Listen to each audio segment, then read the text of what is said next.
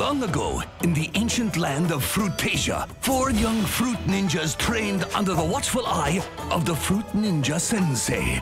Together, they worked to master the ancient secrets of Juice Jitsu. The struggle raged on until the old ways were eventually forgotten, and all knowledge of Juice Jitsu was lost forever. Or was it? Yes, it was.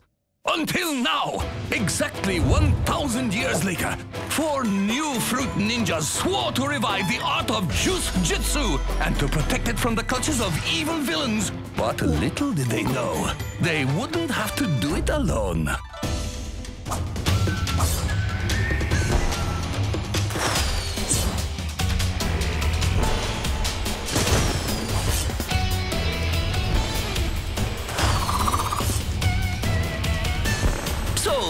Anyways, Fruit Ninja!